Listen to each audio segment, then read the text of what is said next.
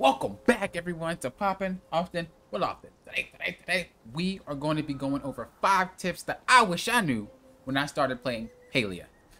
Why is this guy all up in my grill? No, for real, what is he doing? Get up out of here. If you enjoy videos like this, not just tips and guides, but if you want to see more Palia content, subscribe. That way you are notified when I get out of here, brother. Just all up in my grill. He knows I'm doing a video. Look, he knows I'm doing a video. He knows it. It's like that. Do they all though? What is going on? What's going on? What was I even saying? Anybody lost all consciousness. If you want to see more Palia content, not just tips, tricks, and guides, but just more Palia content in general, make sure you subscribe. That way you are notified when I pop out the next Palia video. Let's get into it. So tip number one, before you even start playing the game, we start on our plot you want to make sure you are always leaving your plot with bug catchers and arrows. And I will tell you why. First off, let me explain how you do that. When I first started, I had no clue you can craft them. I was like, where do you where do you get this stuff? You actually go to your tools and you scroll all the way down. It will be down here. Now you want to make sure you leave with about 60 or 80. And I know that's a lot for the start, so you can make it about 20 or 40. The reason why I say this is because sometimes when you break rocks or sometimes when you cut trees down, bugs will pop out. And so you want to make sure that you're able to catch them by having the bombs already with you.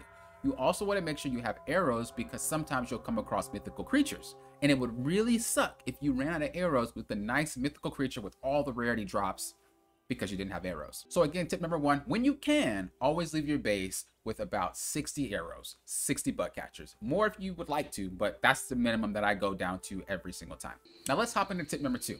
Tip number two, only some creatures, bugs, plants, whatever, some of that only spawns at nighttime. When the clock strikes 6 o'clock during the evening, that's how you know the night cycle starts. When it clocks 6 a.m., that's how you know when the daytime starts.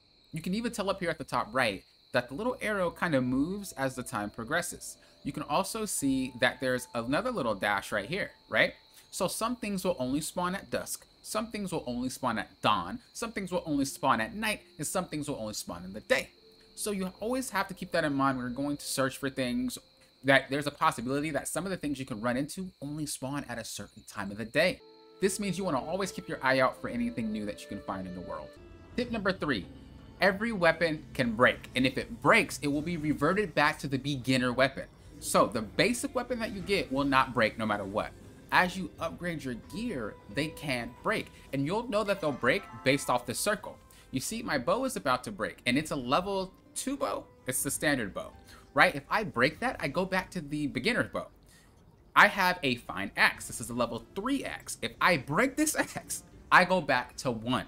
So you need to keep this in mind when you upgrade your gear. Pay attention, and they break really quickly. If you're towards the end and you're like, ah, maybe I could get a little extra stone out, or a little extra piece of wood out, or a little fish. No, no, no, it will break. Trust me, it will. break. Just don't even risk it when it's low go ahead, go back and repair. You can repair it two ways. The first way is just coming to the shop. This is a seafood shop. Come to her shop, go ahead and click repair tools. You can repair it with gold or you can use it with the repair bag. You get a repair bag recipe when you upgrade one of your tools. Just keep that in mind. The other way is you can buy an anvil from Hodari, put it on your plot, and you can then repair it there. Same thing, you'll need to use the repair bag. Tip number four, you could talk to Palians to not only increase your friendship, but you could know more about them.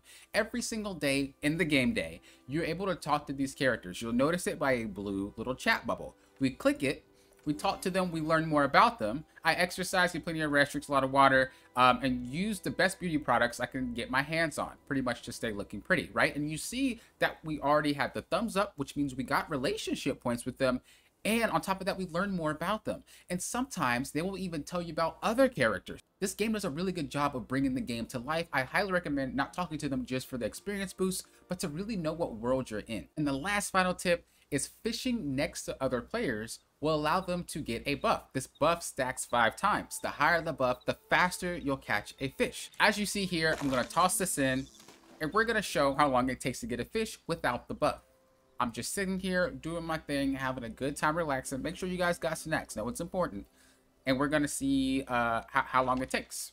So let's just sit and chill. Fishing is so relaxing in this game.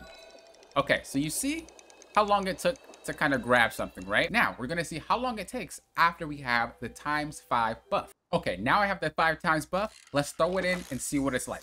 A lot of people have a misconception about it, and I've been hearing it a lot, that it makes it easier for you to catch the fish. That's not true. It doesn't make it easier for you to reel it in or catch it. It just pops faster. As you see, that popped almost instantly. Nah, okay, almost instantly. Instantly is kind of a lie. I'm not gonna lie to you guys. But it was significantly faster. It was significantly faster. And so you could catch basically double the fish because it's cutting off, I think, about half the time if it's at max stacks. As of now, I think it can only go up to five, but maybe they'll update it or change it in the future. Again, it doesn't make it easier to catch fish. It just makes it so you can catch fish faster. I'd also like to add, you don't need to emote to activate this. It's not about your emotes. It's about you catching a fish. Once your character does this with the fish that it caught, it will give the buff to anybody around them. That's the only way you can get it. So that is it for my five tips that I wish I knew. If you guys would like to see more, again, hit that thumbs up. Make sure you subscribe. That way you are notified. I love the game. I've been playing the game nonstop, basically. Um, it's a great game. And so if you guys want to see tips and tricks from someone who's spent hours and hours in this game, make sure, again, you subscribe. That way you are notified when I pop out more content this week. Thank you guys for watching. I do appreciate it. And until next time, you know what I always say? Thank you guys for doing what? Popping often. We'll often.